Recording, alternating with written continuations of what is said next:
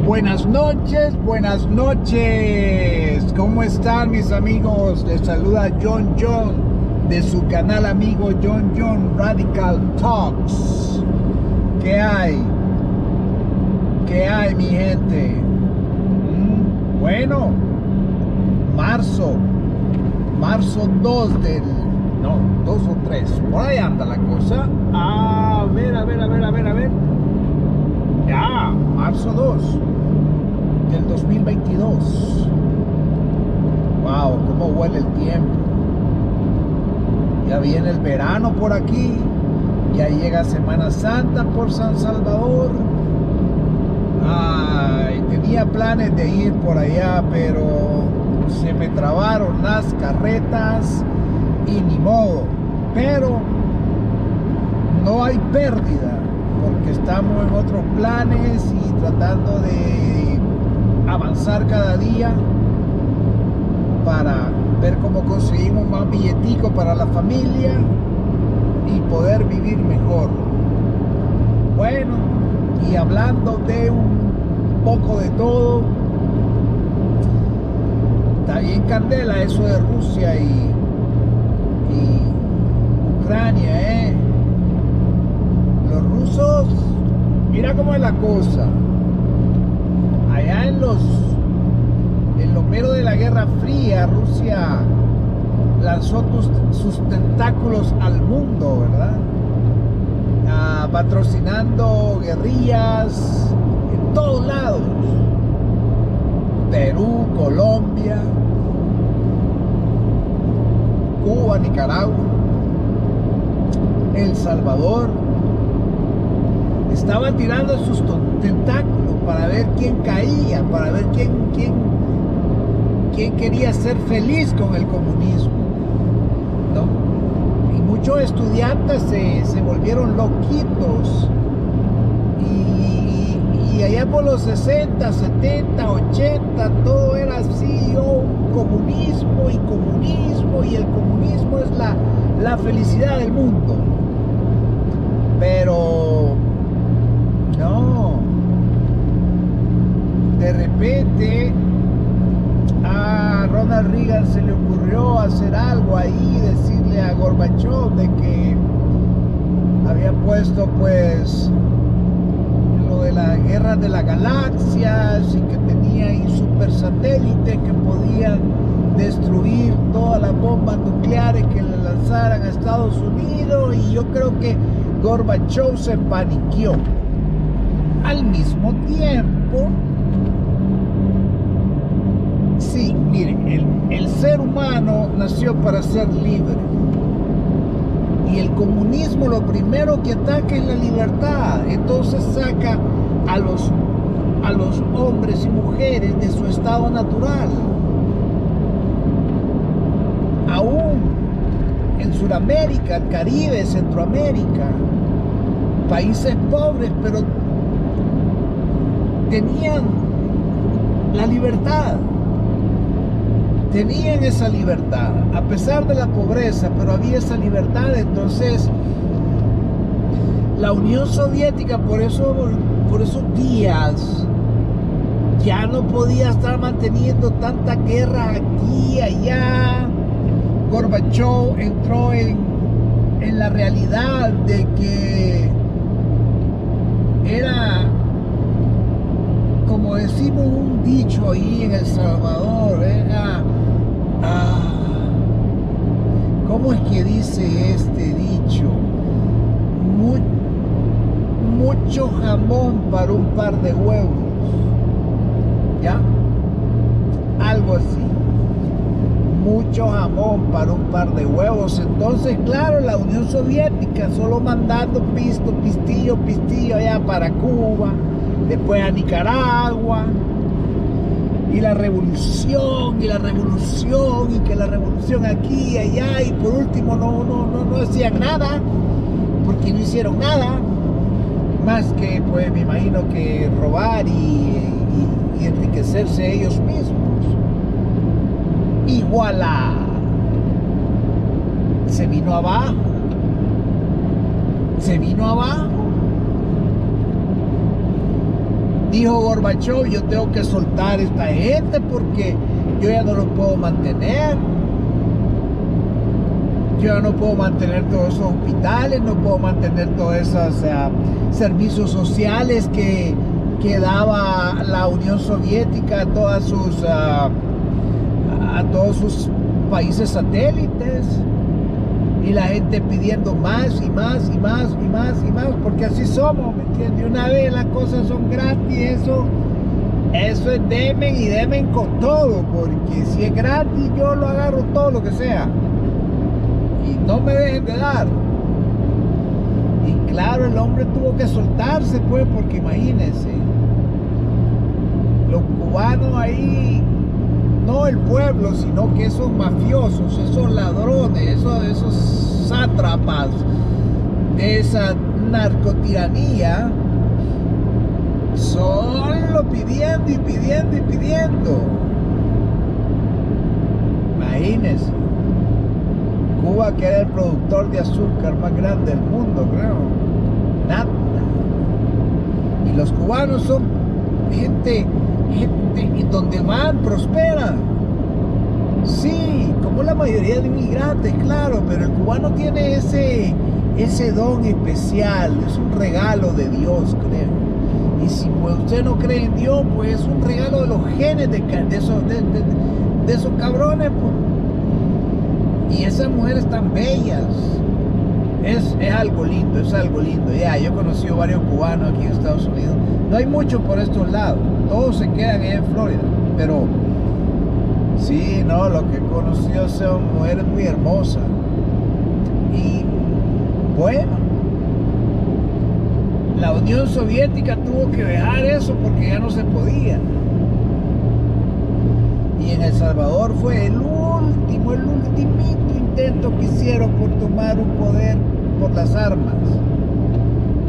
Pero se jodieron se jodieron porque porque no se le concedió. Ya sea Dios a Estados Unidos que jamás dejó de apoyar a nuestra gloriosa Fuerza Armada. Ya. Que pudimos derrotar. Y claro como ya tampoco había pito para que pito pito de otro lado, entonces dijeron, mire, vamos a platicar pues, porque hay que platicar.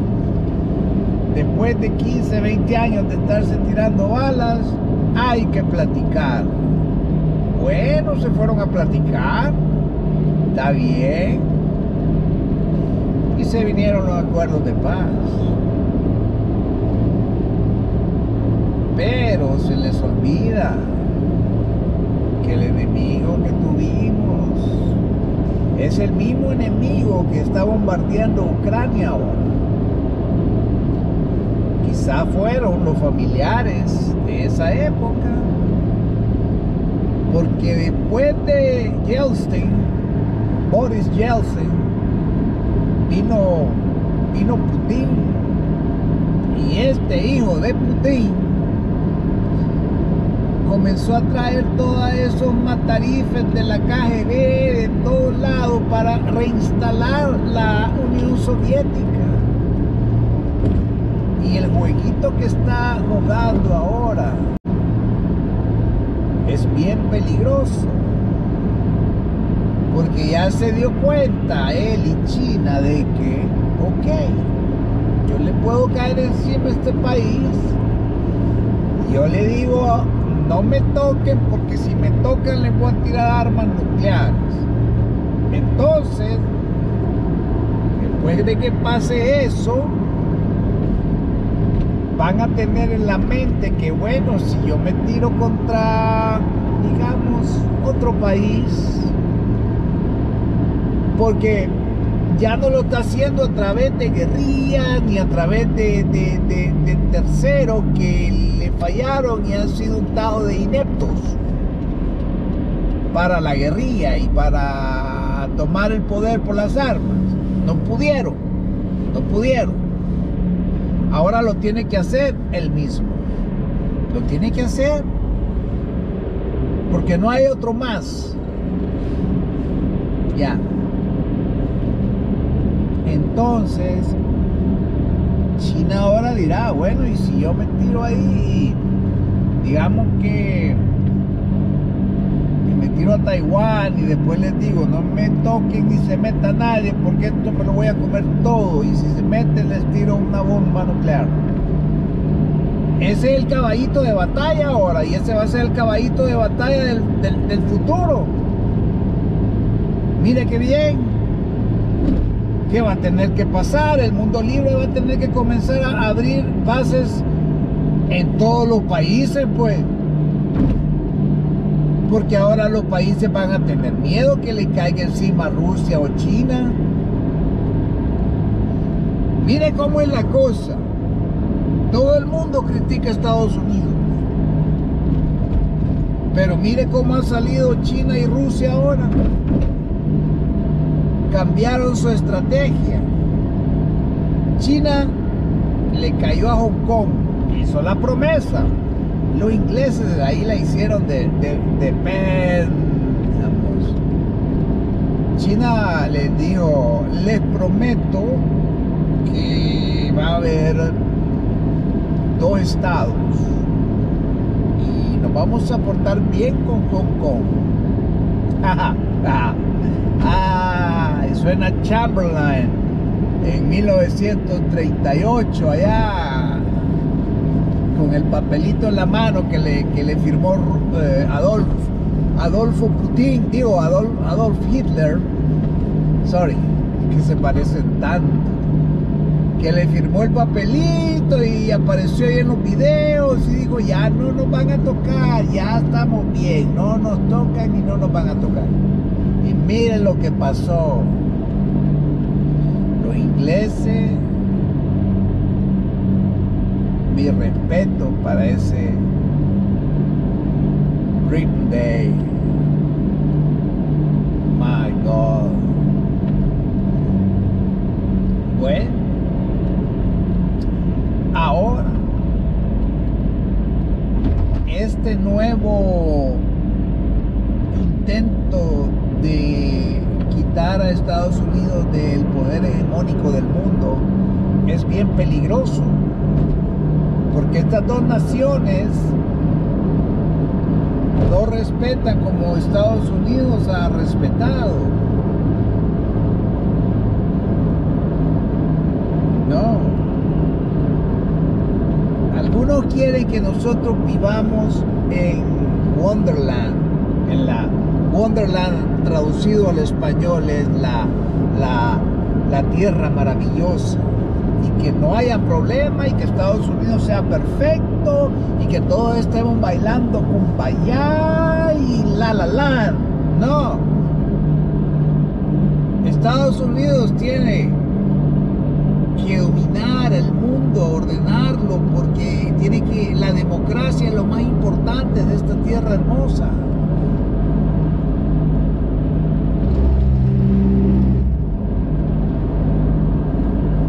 Tiene que prevalecer. Mire lo que pasó con este loco de Trump. Estaba ahí queriendo deshacer la OTAN o queriendo tal vez no deshacerla, pero quería más billetes, pues, pero tambaleó. Se puso un poquito más al lado de Putin, imagínense. Te vieron los videos, ¿va? Horrendo, cuando dijo, ok, yo le creo a mi servicio secreto, pero ¿saben? Putin me dijo, Putin se puso la mano en el corazón y me dijo que él no había sido, entonces yo le creo a Putin, porque se puso la mano en el corazón, imagínense. Imagínense qué pendejo. Pero anyway, el mundo tiene que comenzar lastimosamente un armamentísimo porque si no comienzan a protegerse los unos a los otros, y tienen que proteger Taiwán, tiene que proteger Taiwán o se lo va a chupar la China. Y ahí están los mejores chips. Taiwán ha movido unas, unas, eh, chip factories para Estados Unidos. Porque en esta tierra maravillosa están protegidos. Y nadie los va a querer matar, ni nadie les va a querer hacer algo daño solo por quitarles lo que les pertenece. ¿Qué es lo que está haciendo Putin con Ucrania? Mire, Putin se va a meter a Ucrania y va a ser una gran matacinca, pero la contrainsurgencia que va a haber en Ucrania, poquito a poquito se van ir echando todos los rusos. Lástima, va a haber una gran matancita porque al único que no le van a hacer nada es a Putin. Al resto es el que, el que nos vamos a morir. Imagínense cómo está la cosa. Qué feo se ha vuelto. Se ha vuelto bien feo. No es justo que después de una pandemia vengan estos locos y hagan una estupidez de esto. Y Putin lo que está haciendo es defendiendo la vida de, el estilo de vida de él y, sus compinches. That's it. Él sabe que si se le llega a un país cerca y comienza con la palabra que pone a temblar a cualquier despótico, la palabra democracia, va a comenzar a meterle ideas al, pueblo ruso de democracia y se le puede desestabilizar el país. Y él no quiere eso. Imagínate. Qué triste, qué triste está. A ver cómo nos va. Lo único que sé es que Putin ya no cabe en este mundo. Ya no. Ya oyó a cada presidente de los países libres expresarse en contra de este déspota, de este Putin ruso hitleriano que ayudó a destruir Alepo, que se tomó por la fuerza algunos ah, pueblos de Europa y ahora se está fagocitando a la pobre Ucrania. No sé, el mundo, como dijo Boris Johnson hoy, que ellos no quieren verse en la obligación de poner no flying zone on top of Ucrania porque no quieren, ya saben lo que van a pasar si se va un avión ruso. Imagínense, los tiene contra la pared Putin. Ya, los tiene contra la pared. Putin está haciendo lo que le da la gana. Pero esa contrainsurgencia que va a estar ahí le va a terminar el ejército. Y el mundo se lo va a terminar a Putin. Ojalá que cuando se vea contra la la pared económica y geopolíticamente contra la pared, no diga, bueno, si yo no puedo vivir en este mundo, pues nadie va a vivir y se descontrola toda la vaina y a tirarse bombas se ha dicho. Eso está en la Biblia. Dios con nosotros. Bueno, cuídense. Buenas noches. Que Dios nos proteja.